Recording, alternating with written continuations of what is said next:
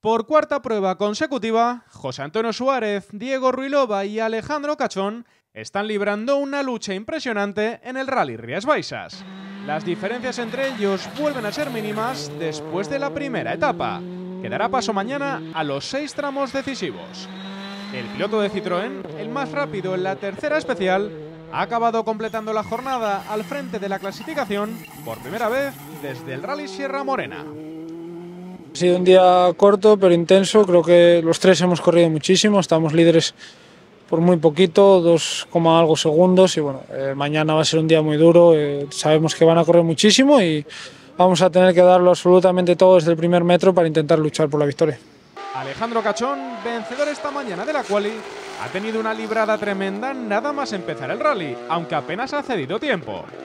Las segundas pasadas, repletas de suciedades, se le han atragantado un poco al piloto de Toyota, que con todo está solamente a 2,9 segundos del liderato.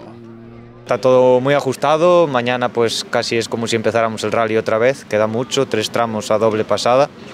Vamos a intentar hacer unos cambios en el coche para sentirnos más cómodos.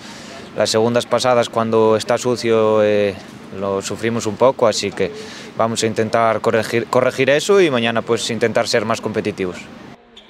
Cohete Suárez ha dominado el primer bucle, hasta que una penalización de 10 segundos por adelantarse en la salida del tercer tramo ha frenado su progresión igualándole la tabla de tiempos con Cachón.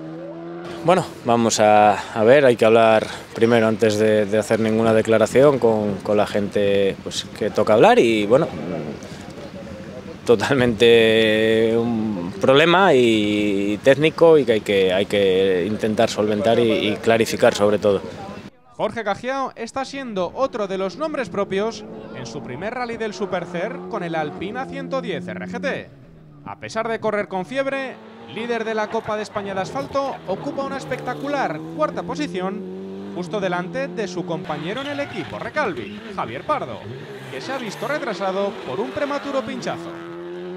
Dani Verdomás marcha a continuación con el Toyota GR Yaris Rally 2, que estrena este fin de semana, seguido por los Hyundai de Iván Ares y Sergi Pérez, muy comedido tras su reciente accidente. Un toque en la cuarta especial ha dejado fuera a Óscar Palomo por segunda cita consecutiva.